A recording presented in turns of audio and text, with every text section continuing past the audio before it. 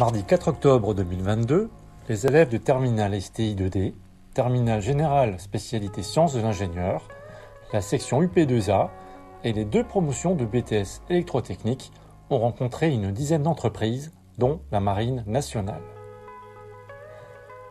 Nos élèves ont découvert la variété des métiers proposés par ces entreprises qui recrutent dans notre bassin d'emploi.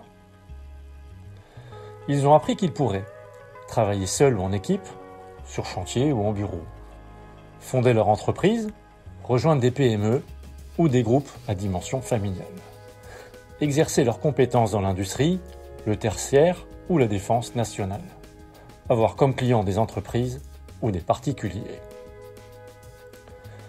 Les entreprises partenaires leur ont aussi expliqué l'importance d'aller au bout de leur formation. Toutes les ont encouragés à être ambitieux. Ensuite, elles ont proposé des terrains de stage au BTS première année sans omettre de leur détailler leurs attentes. Les entreprises ont bien indiqué qu'elles profitent de ces stages pour détecter des talents, puis proposer des contrats d'apprentissage ou de l'emploi. Enfin, nos partenaires ont exposé les procédures de recrutement à nos futurs sortants de formation.